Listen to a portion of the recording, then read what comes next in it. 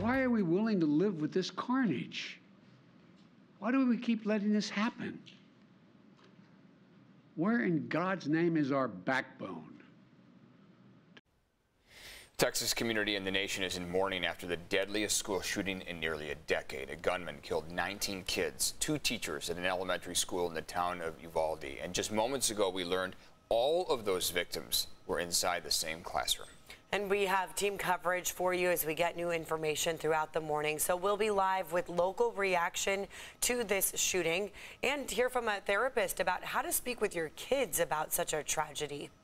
But first, we do want to highlight how this tragedy is on the forefront of minds nationwide, including the sports world. Before last night's NBA playoff game, Warriors head coach Steve Kerr was very emotional while talking about the shooting.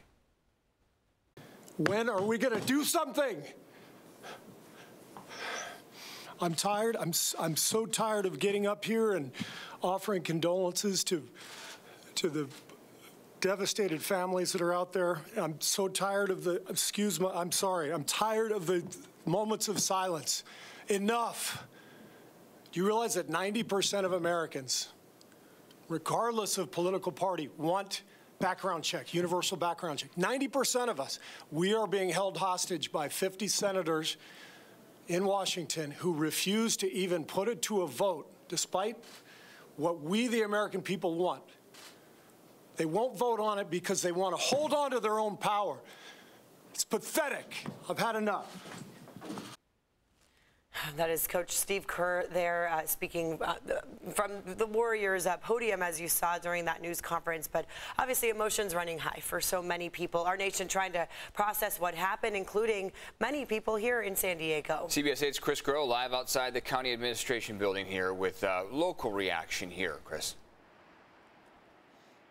Yeah, and what we're seeing here locally is that flags are at half staff really across San Diego County as they are across the nation. And the county administration building is lit up in orange for those 19 children, those 19 victims and two adults also killed in this school shooting. But for some here in San Diego County, those gestures are just simply not enough you know, unspeakably heartbroken for the people of Texas, for the parents who lost their children today, for the children who survived but will live with that trauma forever. That's Celeste Perron with the group Moms Demand Action. She's a volunteer for the national group that was actually formed after the Sandy Hook shooting in Connecticut. Her group and others are continuing their call on Congress, if not making it even louder now, to enact stricter gun laws in the wake of yet another school shooting. Meanwhile, CBS 8 also spoke with retired ATF agent Brad Galvan. He spent 30 years with the agency. He's investigated active shooter cases like this one. He believes that both guns and mental health need to be addressed. It has to be identified and acted upon before they get to this point where they get their hands on a firearm and then do something as horrendous as this. And later on today, there will be a candlelight vigil again in honor to remember the victims killed in this latest shooting, but from dedications and more memorials that will be happening in your area. Just go to CBS8.com and click on that story link.